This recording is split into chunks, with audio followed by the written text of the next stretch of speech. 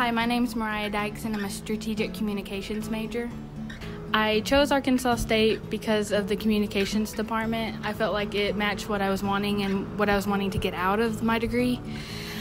At first, I was wanting to go to law school, but when I learned more about the communications department and what I could do with my degree, I wanted to do more than just go to law school and figure that out. I wanted to be able to actually use my degree and become a public relations professional, work for nonprofits and things like that.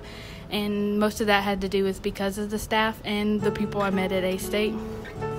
I came to Arkansas State not knowing anybody. Uh, I had nobody I graduated with came to Arkansas State, so I needed to actually make people make friends with people that that actually had the same interests as me and things like that. So I went to NBSF and I met two twins who actually became my friends, and I live with them still for the last two two years, four semesters.